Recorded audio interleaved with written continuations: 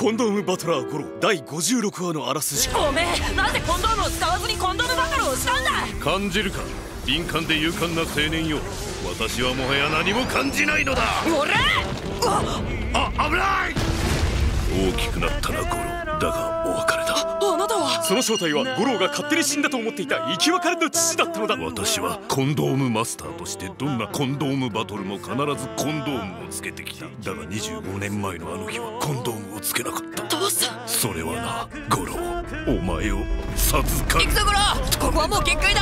父さん父さん父さんそうか五郎のお父さんは大切なその時が来たからコンドームを使わなかったってことなんだね。もろもろ分五郎よコンドームを使え。いつかコンドームと別れる大切なその時まで。それまではみんな